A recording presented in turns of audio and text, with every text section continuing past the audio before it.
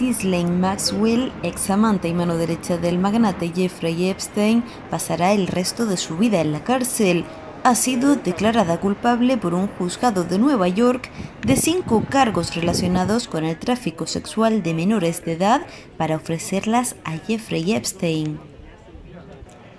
Tras seis días de deliberaciones y cuando parecía que el jurado se inclinaba en favor de las tesis de la defensa de Maxwell, el jurado respondió culpable a cinco de los seis cargos que se le imputaban, el más grave de ellos por tráfico sexual de una menor entre los años 2001 y 2004, es decir, cuando la víctima tenía 14, 15 y 16 años.